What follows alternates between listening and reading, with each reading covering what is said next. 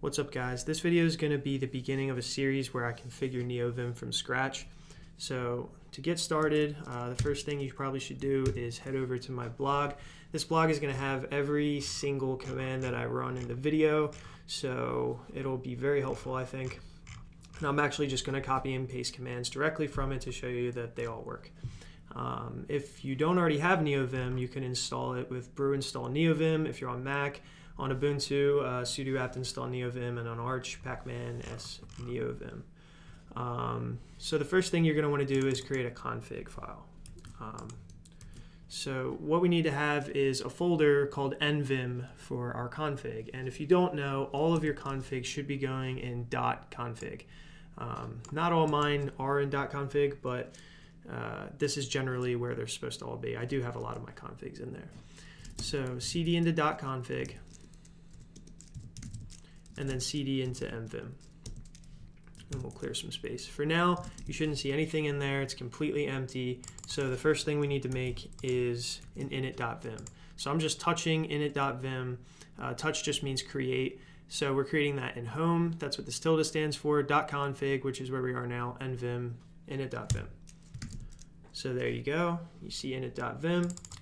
The next thing we'll do is install vimplug. All you need to do to install vimplug is run this curl command. This curl command will pull down vim, vimplug and put it in an autoload directory inside your nvim directory. So uh, essentially this auto autoload directory just auto loads anything that you put in it and the only thing that we're going to keep in it for now is just uh, vimplug itself and you can see it in there if we do ls autoload all right so after that, we're going to make a directory for all of our plugins.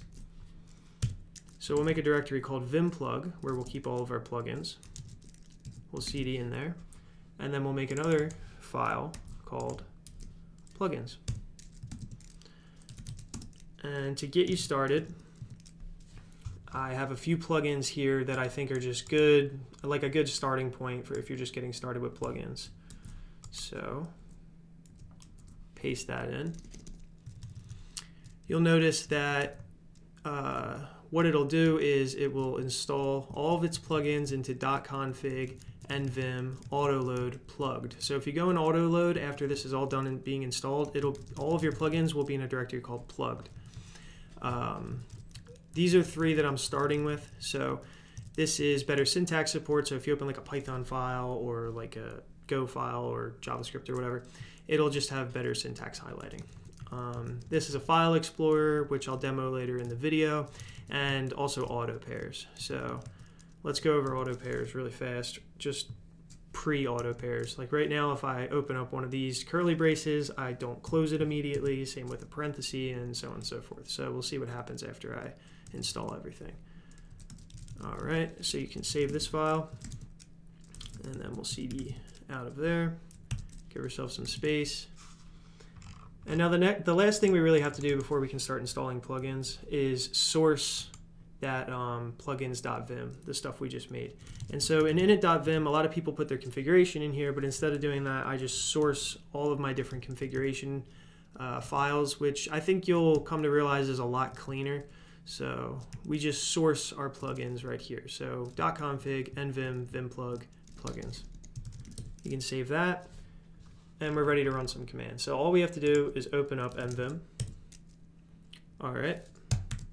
And if you don't know, you can just put a colon. And if you put a colon, you can start running commands that plugins give you. So the only real plugin that we have now is vimplug itself.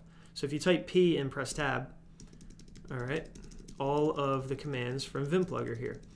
So the ones that we're interested in right now are, we'll start with plug status.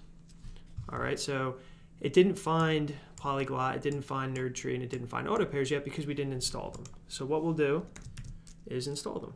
So plug up, install. And so now we're just installing all of these plugins. Um, eventually you'll have, probably have a list down to here. Um, but for now, just these three.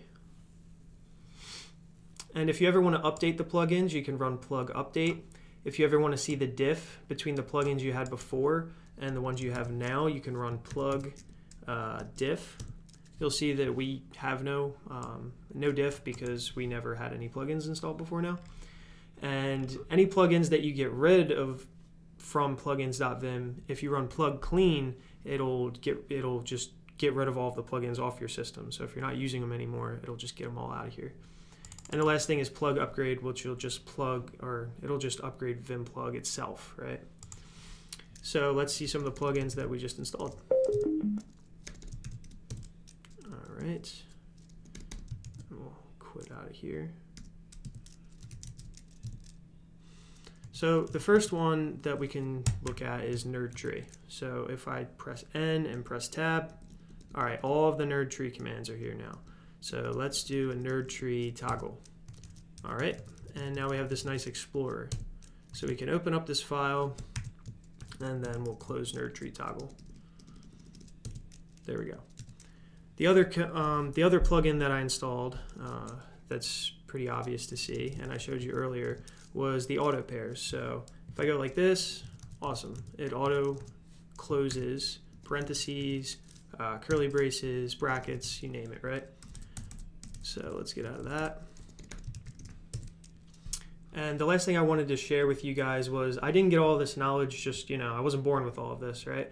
So Vimplug has a nice repository here, uh, great README, awesome documentation, and that's where I got all of the commands and everything that I needed to do this video.